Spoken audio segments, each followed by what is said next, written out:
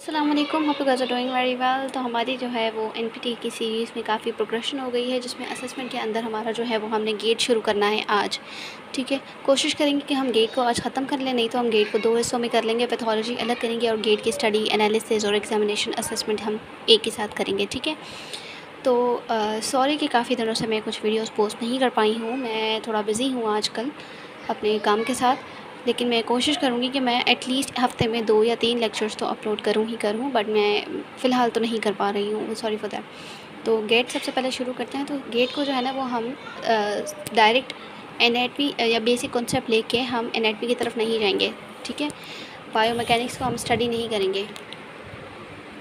ठीक है? Biomechanics को डायरेक्ट स्टडी नहीं करेंगे क्योंकि हमें समझ नहीं आएगी। तो इसीलिए हम गेट का जो है वो बेसिक जो है वो कॉन्सेप्ट लेंगे यहाँ से।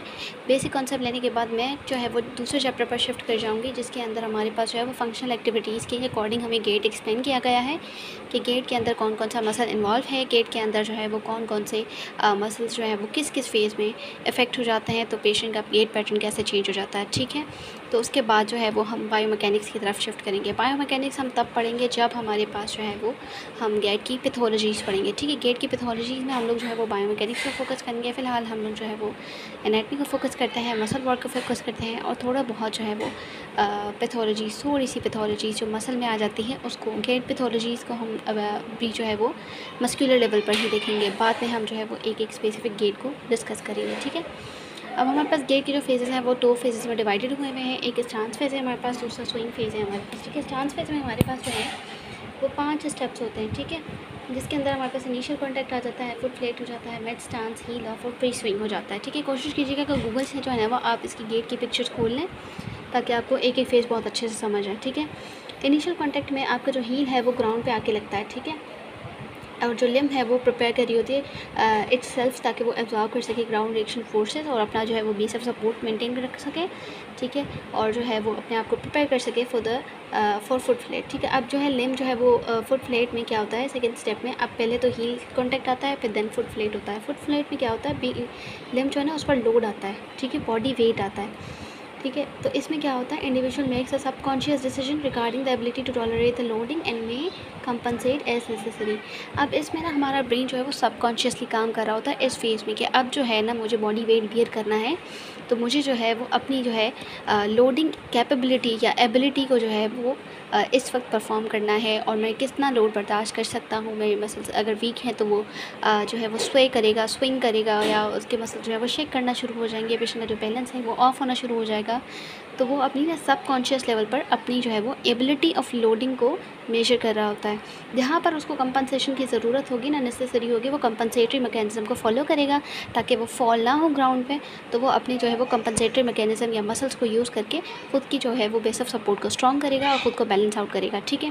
देन हमारे पास मिड स्टांस है। मिड स्टांस में जो है वो फुट पूरी तरह से फुली फ्लैटन है और जो ट्रंक है वो स्टांस लेग पर। ठीक है स्टांस लेग जो कि लेग अभी जिसका फुट फ्लैट है, क्योंकि एक का फुट फ्लैट होता है तो दूसरे का जो फुट है, वो स्विंग फ़ेज़ में होता है, ठीक है? एक फ़ेज़ एक लिम का स्टांस फ़ेज़ चल रहा होता है, दूसरी का स्विंग फ़ेज़ चल रहा होता है। तो अब मिड स्टांस में क्या होता है, जो ट्रंक है, जो बॉडी वेट है, वो स्टांस लेग पर आ जाता है, ठीक है? तो ये यहाँ पर डिस्कस किया गया। फिर देन हमारे पास है फुट मिड स्टांस के बाद हील ऑफ़ आ जाता है हमारे पास। हील ऑफ़ में क्या होता है, अब वेट डिस्ट्रीब्यूशन शिफ्ट हो जाती है। इंटायर फुट से जो कि पूरी बॉडी का वेट हमारे पास फुट में आ रहा था। अब वो फुट से शिफ्ट होकर फोर फुट पर चला गया है मतलब टोज तक जा रहा है। हम ये कह सकते हैं, ठीक है देन हमारे पास है प्री स्विंग जैसे ही toe takes on the final contact अब जो है प्री स्विंग में टो सिर्फ़ टो जो है ना, वो इस तरह से अटैच है। फुट के साथ, ठीक है ग्राउंड के साथ सॉरी अब वो स्टांस फेस ख़त्म हो रहा है, अब यहाँ पर फोर्सेस जो है ना, वो एक्सेलरेशन वाली शुरू हो जाएँगी और वो जो है वो प्रोपल्जन वाली मूवमेंट प्रोवाइड करेंगी। एक प्रोपल्सिव फोर्स आएगी और फुट जो है वो स्विंग फ़ेज़ में चला जाएगा। अब इनिशियल स्विंग में क्या होता है? अब प्री स्विंग में टो अटैच था ना ग्राउंड से, अब इनिशियल स्विंग में क्या होता है? फुट जो है वो ग्राउंड के साथ कॉन्टैक्ट बिल्कुल ख़त्म कर देता है और क्या करता है? एक्सेलरेट करता है एक्सेलरेशन फोर्स अप्लाई करता है और फॉरवर्ड प्रोपल्स करता है अपने फुट को। अब मिड स्विंग में क्या होता है? लिप ट्रांजिशन होती है फ्रॉम एक्सेलरेशन टू डीसेलरेशन अब यहाँ पर जो एक्सेलरेशन फोर्स है, वो ख़त्म होती है और आहिस्ता आहिस्ता फुट हम पीछे की तरफ़ लेते हैं नी को फ्लेक्शन की तरफ़ ले जाते हैं और डीसेलरेशन फोर्स को अप्लाई करते हैं। अब टर्मिनल स्विमिंग क्या होता है? अब लिम जो है वो आहिस्ता आहिस्ता अपनी जो है वो डिसलरेशन में जाएगा। स्पीड सॉरी स्पीड हम इसको कह लेंगे स्लो करेगा और प्रिपेयर करेगा ताकि वो अपनी हील वापस से स्ट्राइक करे और वो स्टांस फ़ेज़ में जाने की तैयारी करे इनिशियल कॉन्टेक्ट करे। ठीक है? अब यहाँ पे हम लोग मसल्स को डिस्कस कर लेते हैं। ठीक है, हमारे पास जो है वो फ्लेक्शन मसल्स हमें याद होने चाहिए। हिप के flexors extensors internal rotators external rotators और अडक्टर्स अबडक्टर्स हमें ये सब पता होने चाहिए। जब तक हमें मसल नहीं पता होंगे ना तो हमें गेट का बायो मैकेनिक्स भी समझ नहीं आएगा। ठीक है? अब हम लोग अब हम लोग शिफ्ट करते हैं हमारी जो है वो गेट के मसल वर्क पर मसल पैथोलॉजी की तरफ़। ठीक है? ठीक है, अब यहाँ पर जो है वो हमारे पास जो है इस चैप्टर के अंदर बहुत ही बेहतरीन तरीके से गेट को एक्सप्लेन किया हुआ है। मसल वर्क के साथ फोर्सेस भी बताई गई हैं और जो है हमें ये भी बताया गया है कि मसल पैटर्न किस तरह से होती है मसल एक्टिवेशन पैटर्न क्या है और कौन कौन से मसल किस तरह से काम करते हैं, ठीक है? तो हम जो है वो इस यहाँ से अपना जो है मज़ीद गेट को अंडरस्टैंड करेंगे। अब इसमें हमारे पास जो है रेंचोस लोस एमिगोस की ट्रेडिशनल टर्मिनोलॉजीज आती हैं इसमें। Traditional terminologies appears first and refers to the point in time in gait cycle Ranchos Los Amigos terminology follows and refers to length of time length of time in the gait cycle ठीक है? Both are in clinical use reader should be familiar with both ठीक है? Time major करेंगे। ठीक है? और जो है गेट साइकिल के अंदर हम टाइम को मेजर करेंगे मसल फोर्सेस आ जाएँगी ठीक है? मसल की स्ट्रेंथ आ जाएगी। हम ये सब कुछ मेजर करेंगे, ठीक है? डिफरेंट डिफरेंट मसल्स को। फोकस करते हुए। अब हमारे पास हील स्ट्राइक में क्या होता है? अब इसमें क्या होगा? हील स्ट्राइक में यहाँ पर अब हील है जो रेफरेंस ऑफ़ सपोर्ट लिम है, वो कॉन्टैक्ट आता है ग्राउंड के साथ बिगनिंग ऑफ़ ट्रांसफेयर इसमें हमारे पास जो है वो एनचोस लोस एमिगोस के अकॉर्डिंग इनिशियल कॉन्टैक्ट में क्या होता है? फुट जो है वो ग्राउंड के साथ होता है, ठीक है? सॉरी जो हमारा हील जो है ना, वो हील स्ट्राइक करता है। लीड एक्सट्रीमिटी स्ट्राइक्स ग्राउंड जो लीड में होती है ना फुट एक्सट्रीमिटी वो जो है, वो ग्राउंड के साथ स्ट्राइक करती है, जैसे कि हील स्ट्राइक हमारी हो रही थी। अब इसमें क्या हो रहा होता है मसल हम लोग जो है, वो नी के और एंकल के डिस्कस करेंगे। तो नी में नी एक्सटेंसर क्वाड्रिसेप जो है, यहाँ पर एक्टिव होता है हील स्ट्राइक में थ्रू अर्ली स्टांस ठीक है? इनिशियल कॉन्टैक्ट मतलब early phase of the gait cycle में, ताकि वो small amount of knee flexion को कंट्रोल कर सके फॉर शॉक एब्जॉर्प्शन ठीक है? शॉक एब्जॉर्प्शन प्रॉपर्टी के लिए हमारे पास क्वाड्रिसेप यहाँ पर एक्टिव होता है नी फ्लेक्शन करवा रहा एक्टिव हो जाते हैं हील स्ट्राइक ठीक है? अब क्वाड्रिसेप का काम है नी एक्सटेंशन कराना। लेकिन स्मॉल अमाउंट ऑफ़ नी को कंट्रोल करने के लिए यहाँ पर क्वाड्रिसेप जो है वो ई सेंट्रिक कॉन्ट्रेक्शन करेंगे, ठीक है? ताकि वो शॉक एब्जॉर्प्शन का काम कर सकें। आप एंकल टॉर्स फ्लेक्सिस की बात करें तो यहाँ पर हमारे पास एंकल इंटीरियर टिबियालिस है हेलोसिस लॉन्गस है, एक सेंसर डिजिटोरम लॉन्गस है, ठीक है? ये क्या करेंगे? डीसेलरेट द फुट ठीक है slow plantar flexion from heel strike to foot flat plantar flexion को स्लो करेंगे from heel strike to foot flat अब इसको अगर हम समझने की कोशिश करें बायो मैकेनिक्स की तरह अगर हम आएँ तो यहाँ पर हमें बेहतरीन तरीके से समझ आएगा। इधर के नी वर्क क्या हो रहा है? क्वाड्रिसेप फेमोरस जो है, वो ई सेंट्रिक कॉन्ट्रैक्शन कर रहा है, ताकि फुट की जो फ्लेक्शन कैपेबिलिटी है ना, उसको स्लो डाउन कर सके, ठीक है? उसको कंट्रोल कर सके। Rapidly control knee flexion and to prevent buckling ठीक है? ये पॉइंट यहाँ आ गया। अब हम आते हैं वापस हमारे गेट के ठीक है? हम इसको ऐसे ही पढ़ेंगे। एक एक चीज़ का हम लोग यहाँ से कॉन्सेप्ट लेंगे और हम वहाँ से भी कॉन्सेप्ट लेंगे, ठीक है? उसके बाद हमारे पास आ जाता है डॉर्सी फ्लेक्जर्स काम कर रहे थे। Decelerate the foot slowing the plantar flexion from heel strike to foot flat अब हम इसको यहाँ करते हैं। अब हम यहाँ एंकल की तरफ़ आते हैं। ठीक है dorsi flexors tibialis extensor hallucis longus और extensor hallucis longus sorry digitorum longus था ऊपर। ये ई सेंट्रिकली ताकि प्लांटर फ्लेक्शन को स्लो कर सकें। ठीक है, ये दो चीज़ें यहाँ क्लियर हो गई मसल्स भी क्लियर हो गए। मतलब साथ के साथ बायोमैकेनिक्स भी हुई है। फिर उसके बाद हम लोग जो है वो फुट को फ्लैट जब फुट फ्लैट हो रहा है फुट फ्लेट में क्या होता है? अब फुट फ्लेट में यहाँ पॉइंट है सोल ऑफ़ द फुट जो है वो रेफरेंस फुट या जो है सपोर्टिंग लेम जो है, जिसके ऊपर सारा वेट आने वाला है, वो कॉन्टेक्ट करी होती है विद ग्राउंड के साथ occur immediately after heel strike के बाद जो सेकंड स्टेप होता है, वो फिफ्थ स्टेप होता है। यहाँ पर हमने पहले भी डिस्कस किया है कि सबकॉन्शियसली हमारा ब्रेन जो है वो लोडिंग रिस्पॉन्स पर काम करना शुरू करता है और कंपनसेटरी मैकेनिज्म को भी फॉलो करता है, अगर नेसेसरी होता है तो। ठीक है इसमें क्या होता है लोडिंग रिस्पॉन्स आता है जैसे कि फ़र्स्ट पीरियड होता है double support immediately after initial contact ठीक है? इनिशियल कॉन्टैक्ट के बाद जो है वो यहाँ पर लोडिंग रिस्पॉन्स आना शुरू होता है अनटिल यहाँ पर डबल सपोर्ट है अनटिल जो कॉन्ट्रालेटरल लेग है वो लीव्स द ग्राउंड अब फुट फ्लैट होगा जब तक फुट मिड स्टांस में नहीं जाएगा तब तक जो है वो आ, मतलब फुट फ्लैट में दूसरी जो लिम है वो खुद को प्रिपेयर कर रही है उसके लिए एक्सेलरेशन के लिए ठीक है? तो यहाँ पर जो है वो ये वाली बात हो रही है कि वो डबल सपोर्ट में है। अब जो है वो डबल सपोर्ट से हट के सिंगल सपोर्ट में जाने की जो है वो कॉन्ट्रालेक्टर लेग जो है वो जा रही है सिंगल सपोर्ट की तरफ़ जा रही है। ठीक है? अब मसल एक्टिवेशन पैटर्न यहाँ पे क्या है? गैस्ट्रोनीमियस सोलियस जो है वो एक्टिव हैं from foot flat through mid stance mid stance से लेकर, ठीक है? जो फुट फ्लेट है वो शुरू हो रहा है। एक्टिव होते हैं गैस्ट्रोनीमियस सोलियस ये ई सेंट्रिकली कंट्रोल कर रहे होते हैं फॉरवर्ड टीबियल एडवांसमेंट को। ठीक है फॉरवर्ड टीबियल एडवांसमेंट फ़ेज़ में अभी जा रहे हैं। ई सेंट्रिक कॉन्ट्रेक्शन यहाँ पर हो रही है। अब हम लोग जो है यहाँ पर मसल एक्टिवेशन की बात करें गैस्ट्रोनीमियस और सोलियस की। अब यहाँ पर जो है वो गैस्ट्रोनीमियस ठीक है, और पिरोनियम मसल यहाँ पर जो है वो एक्टिव हो रहे हैं। ठीक है, अब ये क्या है? फ्लेक्शन को of tibia fibula over foot contracting eccentrically ठीक है नहीं, इसमें सॉरी ये नहीं मिड स्टांस की बात हो रही है। मिड स्टांस में ये दोनों जो है वो डॉर्सी फ्लेक्शन को एक्टिवेट कर देते हैं कंट्रोल कर रहे होते हैं डॉर्सी फ्लेक्शन को। इनका दोनों का जो काम है ना प्लांटर फ्लेक्सिस का मिड स्टांस में यही है। मतलब फ़ूड फ्लेट के बाद मिड स्टांस में जा रहा था, जहाँ पर गेस्ट्रोनीमियस और सोलियस मसल का जो है वो रोल आ रहा था, ठीक है? एक्टिवेट हो जाते हैं डॉर्सी फ्लेक्शन को कंट्रोल करते हैं टीबिया और फिबुला की ओवर फिक्स फुट ठीक है? यहाँ पर ई सेंट्रिक कॉन्ट्रेक्शन हो रही है, ताकि वो जो है डॉर्सी फ्लेक्शन की मूवमेंट को कंट्रोल कर सकें। अब हम यहाँ पर वापस आएँगे, ठीक है? टीबियल एडवांसमेंट को कंट्रोल कर रहे थे ये लोग। तो अब तक जो है वो स्टांस फ़ेज़ और सॉरी हील स्ट्राइक जो है वो हमने पढ़ा और फुट फ्लैट भी हमने पढ़ा, ठीक है?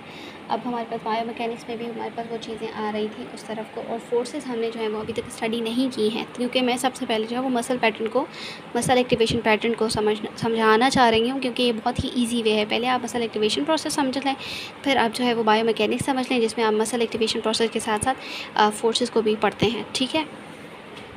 और मसल मूवमेंट को भी पढ़ते हैं। उसके बाद हमारे पास मिड चांस में क्या होता है? फुल बॉडी वेट जो है मिड चांस में हमारे पास आ जाता है सपोर्ट या रेफरेंस लिम के ऊपर। ठीक है, जिसमें ट्रंक जो है वो अलाइन हो रहा था सपोर्टिंग लिम पर। उसके बाद हमारे पास मिड चांस में क्या होता है? कॉन्ट्रालेटरल लिम जो है वो लीव करती है ग्राउंड को। अब बॉडी वेट यहाँ से जो है, अब taken advance over a head of support limb ठीक है? अब यहाँ से मिड स्टांस में, अब मिड स्टांस से हमें जो है वो हील ऑफ़ की तरफ़ जाना है। तो इस वक्त जो है वो यहाँ पर मसल एक्टिवेशन जो है उसका पैटर्न इस तरह से होगा कि बॉडी वेट जो है वो टेकन एडवांस करेगा over a head of support limb यहाँ पर a period of single limb single limb support अब मिड स्टांस के अंदर फुट जो है एक जो है लिम पे सपोर्ट लिम पे होगा. तो उसका पूरा जो लोड है वो एक ही सपोर्टिंग लिम पे होगा, ठीक है? अब उसके बाद यहाँ पर मसल एक्टिवेशन पैटर्न की बात करें तो यहाँ पर हमारे पास है नी एंकल एक्सटेंसर सारे के सारे थ्रू आउट स्टांस फ़ेज़ में एक्टिव है, ठीक है? मिड स्टांस के में स्टांस फ़ेज़ का जो मिड सांस फ़ेज़ है, यहाँ पर मसल एक्टिवेशन जैसे कि सारे के सारे hip extensors knee extensors ankle extensors active हैं throughout the stance phase to oppose anti gravity forces and stabilize the limb अब हिप एक्सटेंसर्स जो है वो फॉरवर्ड मोशन को कंट्रोल कर रहे हैं ट्रंक की हिप अबडक्टर्स जो है वो पेल्विस की मूवमेंट को जो है वो कंट्रोल कर स्टेबलाइज कर रहे हैं यूनिलेटरल स्टांस के अंदर, ठीक है? यहाँ पर हिप का रोल ये था, ठीक है? अब उसके बाद हमारे पास हील ऑफ़ आ जाता है। हील ऑफ़ में क्या होता है? Occurs after mid strike mid stance अब जो है यहाँ पर आहिस्ता आहिस्ता फुट को जो है वो ग्राउंड से उठना है तो सबसे पहले हील ऑफ़ होगी, ठीक है? हील ऑफ़ रेफरेंस जो है सपोर्टिंग लिम है, उसकी हील उठेगी। इसके बाद हमारे पास जो है, वो टर्मिनल स्टांस मतलब हील ऑफ़ जो है, वो स्टांस फ़ेज़ का टर्मिनल फ़ेज़ है स्टार्ट हो गया है। अब इसमें क्या है सिंगल लिम सपोर्ट जो है ये that begins with heel rise and continues until the contralateral leg contact the ground ठीक है? उसके बाद मसल एक्टिवेशन पैटर्न देखें तो पीक एक्टिविटी हो रही थी प्लांट रिफ्लेक्सर्स की occurs just after heel off to push off heel off हुआ है। अब पुश ऑफ़ करने के लिए यहाँ पर मसल एक्टिवेशन जो है वो प्लांटर फ्लेक्सर्स की हुई है।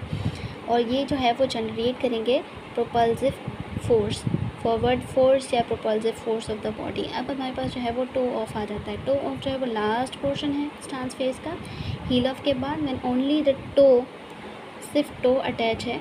रेफरेंस से सपोर्ट लिम के साथ कांटेक्ट विद द ग्राउंड अब इसमें क्या होगा? सबसे पहले प्री स्विंग जाता है टो ऑफ़ जो है वो प्री स्विंग है। अब स्विंगिंग में स्विंगिंग फ़ेज़ जाने के लिए फुट जो है वो रेडी हो रहा है। ठीक है? इसमें क्या होगा? डबल सपोर्ट जो है from initial contact of the contra limb contralateral limb to lift off the supporting limb जो सपोर्टिंग लिम था, जिसका टो ऑफ़ हो रहा है, अब वो जो है, वो अपना जो वेट है बॉडी वेट है, वो शिफ्ट करने लगी है दूसरी लिम पर कॉन्ट्रालेटल लिम के ऊपर। वहाँ पर अभी जो है, वो हील स्ट्राइक हुई है। एक, यहाँ पर जो है, वो टो ऑफ़ चल रहा है तो अब जो दूसरी लिम थी, जो स्विंग फ़ेज़ में थी, उसकी हील स्ट्राइक या इनिशियल कांटेक्ट जो है, वो होने वाला है। तो यहाँ पर अब टो ऑफ़ के बाद वो वाला फ़ेज़ शुरू हो गया है। जिसमें दूसरी लिम में डिसेलरेशन फ़ेज़ चल रहा है। ठीक है, अब मसल एक्टिवेशन पैटर्न क्या है? हिप और नी एक्सटेंसर्स या मतलब हैमस्ट्रिंग और क्वाड्रिसेप जो है वो कंट्रीब्यूट करेंगे to forward propulsion propulsion with a brief burst of activity ठीक है, अब हमारे पास आ जाते हैं स्विंग फ़ेज़ के ऊपर। ठीक है, अब इसमें क्या है? एक्सेलरेशन अब फ़र्स्ट पोर्शन होता है स्विंग फ़ेज़ का from toe off toe off off the reference limb ठीक है until mid swing mid swing तक, ठीक है? उसके बाद इसके अंदर फ़र्स्ट पोर्शन होता है स्विंग फेस का from toe off off the reference limb until maximum knee flexion of the same extremity ठीक है? सेम लिम के अंदर फ्रॉम टो ऑफ़ हो रहा है, ठीक है? उसके बाद नी फ्लेक्शन हो रही है। जिसका टो ऑफ़ हो रहा है, उसी में जो है वो नी फ्लेक्शन में जा रहा है, ठीक है? ताकि वो स्विंग फ़ेज़ में जा सके। अब मसल एक्टिवेशन पैटर्न की बात ना करें तो यहाँ पर फॉरवर्ड एक्सेलरेशन हो रही है limb during early swing is achieve through brief brief action of quadricep अब ये क्वाड्रिसेप मसल की वजह से एक्शन की वजह से हो रही है। अब मिड स्विंग जो है of quadricep is silent and pendular motion is in effect अब पेंडुलम की जो मोशन है ना, वो आगे पीछे वाली, ऐसे वाली, वो वाली मोशन शुरू हो चुकी है। ठीक है? अब हिप फ्लेक्सर्स इलियोसोर्स जो है वो फॉरवर्ड लिम प्रोपल्जन में ऐड करेगा। अब इसके बाद मिड स्विंग में आ जाते हैं। Mid portion of the swing phase होता है, जिसमें रेफरेंस लिम रेफरेंस एक्सट्रीमिटी जिस पर मिड स्विंग फ़ेज़ चल रहा है, वो डायरेक्टली बिलो द बॉडी आ जाएगा। अब इसमें क्या होगा? The portion of the swing phase from maximum knee flexion जिसमें हो रही थी, अब क्या है? Of the reference extremity to a vertical tibial position अब वर्टिकल टीबियल पोजिशन में जाएगा। ठीक है, अब इसमें क्या हो रहा है? फुट क्लियरेंस हो रही है achieve by contraction of the hip knee flexors और एंकल डॉर्सी फ्लेक्सर्स ठीक है? अब यहाँ पर सारे फ्लेक्सर मसल्स एक्टिवेट हो चुके हैं। ठीक है? अब यहाँ पर डिसलरेशन फ़ेज़ आ जाएगा। इसमें क्या होगा? एंड पोर्शन होता है स्विंग फ़ेज़ का जब रेफरेंस एक्सट्रीमिटी जो है वो स्लो डाउन हो जाएगी in preparation of heel strike for heel strike sorry इसमें क्या होगा स्विंग फेस के अंदर वर्टिकल टीबल पोजीशन ऑफ़ की रेफरेंस एक्सट्रीमिटी जिस पे स्विंग फेस चल रहा है to just prior to initial contact अब इसके अंदर जो है वो टीबीएल की वर्टिकल पोजीशन होगी इनिशियल कॉन्टैक्ट से पहले, ठीक है? अब यहाँ पर जो है ना ये हील स्ट्राइक करने ही वाला है, अपने आप को, ये वाला जो रेफरेंस लेम है तो ये वो वाला फेस चल रहा है, ठीक है? अब इसमें मसल एक्टिवेशन की बात करें तो हैमस्ट्रिंग जो है वो during late swing to decelerate the limb ठीक है? In preparation for heel strike अब यहाँ पर हैमस्ट्रिंग अपना जो है वो एक्टिव हुआ हुआ है और वो काम परफॉर्म कर रहा है, वो ई सेंट्रिक कॉन्ट्रेक्शन कर रहा है ताकि जो है यहाँ पर अपना वो काम परफॉर्म कर सके। अब कॉर्डिसिप और एंकल डॉर्सिप फ्लेक्सर यहाँ पर एक्टिव हो जाते हैं, ठीक है लेट स्विंग में to prepare for heel strike ठीक है क्वाड्रिसेप जो है वो एक्सटेंशन करवा रहे हैं और डॉर्सी फ्लेक्सर जो है वो हील स्ट्राइक करने में हेल्प करेंगे, ठीक है। उसके बाद पेल्विक के मोशन की बात करें तो इसमें हमारे पास जो है वो गेट में जो पेल्विक का रोल आ रहा है पेल्विस जो है वो फॉरवर्ड और बैकवर्ड मूव करेगी, ठीक है? ट्रांसवर्स पेल्विक रोटेशन हो रही है। फॉरवर्ड रोटेशन जो है वो अगर होगी ऑन साइड ऑफ़ अनसपोर्टेड या स्विंग एक्सट्रीमिटी पर mean rotation is four degrees ठीक है? आप वेट बियरिंग और स्टांस एक्सट्रीमिटी रोटेट करेगी फोर डिग्रीज और टोटल ऑफ़ एट डिग्रीज ठीक है? अब स्विंग फ़ेज़ वाली फोर डिग्री मूव कर रही है, जिस पर एक्टिविटी हो रही है जिसमें पूरा वेट लोडिंग रिस्पॉन्स आ रहा है, उसमें एट डिग्री की पेल्विक रोटेशन हो रही है, ठीक है? पेल्विक मूवमेंट हो रही है। अब पेल्विस जो है, वो move up and down on unsupported जिसमें स्विंग फ़ेज़ हो रहा है, वो अनसपोर्टेड है, और स्विंग साइड ठीक है?